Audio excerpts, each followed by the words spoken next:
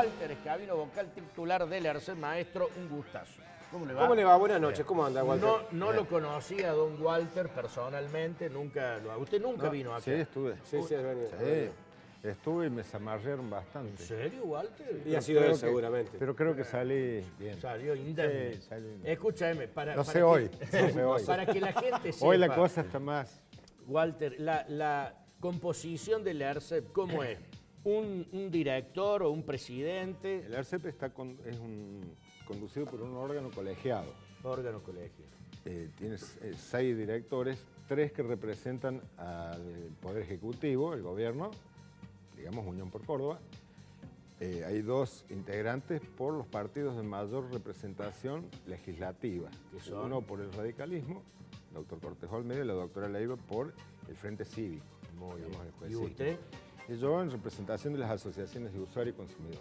O sea, usted defiende al usuario, Estoy con- concretamente. estoy- estoy con espadite plástico. ahí. Eh, eh, eh, cuando empatan, hay voto eh, de desempate del presidente, que es blanco, ¿no? Sí, como todo órgano colegiado, eso pasa en el Consejo Deliberante, pasa en la legislatura, pasa en la Cámara de Diputados de la Nación, pasa en la Cámara de Senadores. Los órganos colegiados, cuando hay empate, De- decide el presidente. por lo general tiene doble voto el presidente y decide. ¿Cuántos empleados trabajan en el ERCEP? Y alrededor de 200, no sé en exactitud, porque yo integro el ARCE, pero digamos no lo administro. Pero en ese número en general, porque tenemos eh, eh, ocho delegaciones en el interior y la tarea es eh, controlar eh, la radiación de las 580 eh, antenas de, de telefonía celular, controlar el transporte interurbano, son más de 80 empresas y 1.800, 2.000 colectivos, controlar la prestación de servicio de energía eléctrica, que es EPEC, en las grandes ciudades, el 70% de los usuarios, y las 204 cooperativas del interior de la provincia, que prestan el 30% restante.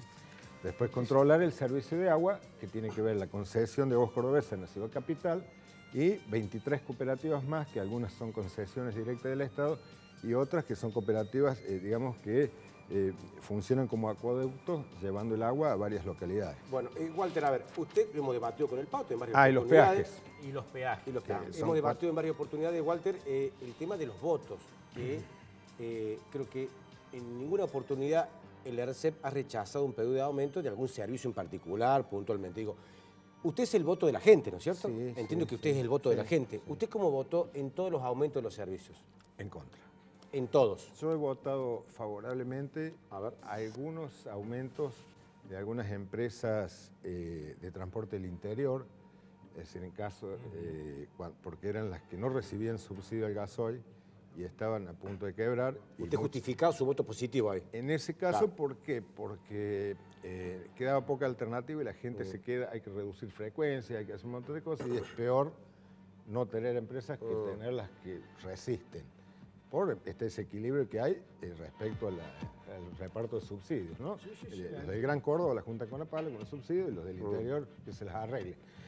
Y después, eh, también para el caso de algunas cooperativas del interior de agua, que estuvieron varios años sin aumentos y que no se le ha dado el mismo trato que, por ejemplo, Aguas Cordobesa, que tiene un sistema que cada seis meses se reajusta la tarifa y que esas pequeñas poblaciones tienen muchas dificultades porque en muchos casos eh, turísticas, que tienen una gran masa, este, de, digamos, una gran cantidad de casas que prestar el servicio, eh, ellos necesitan eh, un sistema, una red y un bombeo para poder abastecer eso en plenitud en el verano, pero en el invierno es muy poco el consumo, muy poca gente y, ha- y hace desbalancear ese sistema. Pero eh, con- concretamente acá en Bueno, Córdoba Capital. le estoy diciendo casos en que. Eh, eh, Sí, no, no, ah, está perfecto, está está bien, perfecto. Habrá, habrá veces en que sí, que un Es aumento inevitable, claro. porque hay decir, inflación, porque- claro. pero el tema es que como ser eh, eh, EPEC este año, y es fundamentalmente hablo de este año, este, ya lleva pedido siete aumentos en el año y a todos le han dicho que sí, a todos los han aprobado y yo le quiero preguntar a Escabino si, si la gente ha recibido siete aumentos de sueldo en el año. No, por supuesto que no. Yo le quiero hacer una aclaración que es importante para ustedes los periodistas y para el público en general. Todas las resoluciones del ente son públicas, se ponen en la página web y además son publicadas en el boletín oficial donde está lo que vota cada vocal y cómo justifica su voto. Este es, este, una data para que todo el mundo pueda consultar vea, cuando vea, vea. Yendo a la pregunta suya, es muy cierto lo que usted dice. Eh, en lo que va del año, en realidad los aumentos acumulados están superando el 60%. Lo importante es ver cómo se conforman esos aumentos y cuáles son las razones.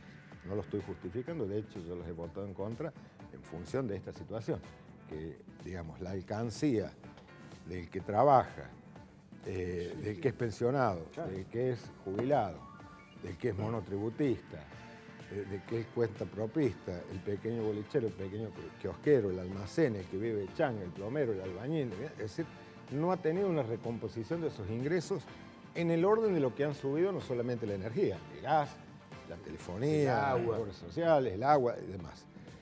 Es decir, eh, hace rato que nosotros venimos planteando que ya eh, desde el año 2017 consideramos que se habían nivelado las tarifas y que de haber un índice de incremento tenía que ser de un índice que surgiera del promedio de los ingresos salariales y jubilatorios.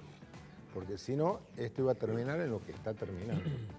Es decir, ya lo planteamos en el 2016, cuando se anunciaba la política energética, cuál era la escalada de, que iba a ir teniendo el gas, que es nuestra matriz energética, porque con el gas generamos la energía, pero la energía usamos el servicio de agua y hacíamos la proyección y hacíamos el cálculo de una familia tipo y veíamos que las tarifas iban a terminar en esto. pero usted sabe, Walter, se lo digo con todo respeto, se lo digo con todo respeto porque en este caso no depende de usted. Pero siento que el ARCEP no sirve para nada. Discúlpeme, es una opinión, pero se puede estar equivocado. Porque se lo pone y se lo creo como el supuesto defensor de los usuarios, entre comillas, el chapulín colorado, el superhéroe de los usuarios, pero en la práctica lo ha dicho usted, lo ha confirmado y lo dice públicamente sus propios integrantes. Acá nunca se ha rechazado un aumento de los servicios. En definitiva, digo, estamos ante eh, la creación de un ente provincial que no le da respuesta a la gente. No, no, eh, yo no dije que nunca se rechazó. Yo lo que dije es que, muchas veces Pero ¿cuándo se, rechazó un aumento del agua, de, de, PEC, de los interurbanos? ¿Cuándo se rechaza? esto le iba a decir. Los interurbanos, por ejemplo, tanto eh, el aumento que se otorgó anteriormente como este se redujo en más de 10 puntos de lo que pedía eh, FETAP. Y se querían el 50 y le dieron el 40. ha habido, modificaciones, ha habido modificaciones, muchas veces no, no lo deseado. Muchas veces, con mucha suerte, logramos de que bueno, ese aumento no se aplique de golpe, se aplique en dos o tres veces, que es un genial, un genial para el cáncer, pero claro, es, lo que podemos lograr. Pero digo esto, eh, no es como usted dice, en el sentido de que el ERCEP se lo mira como que se dedica a determinar el valor de las tarifas. En el ERCEP hay más de 6.000 ciudadanos por año que asisten por problemas de sobrefacturación, de deficiencia en el servicio, de una serie de, de cuestiones que para Doña Rosa, en ese momento, ese problema es muy serio. Usted... no es masivo. No, no, no. Pero esa persona, Yo me quedé únicamente con y esa persona no ganaría jamás una pulseada mano a mano con Aguas Cordobesas, con EPE, con una empresa, si no fuera el ente regulador.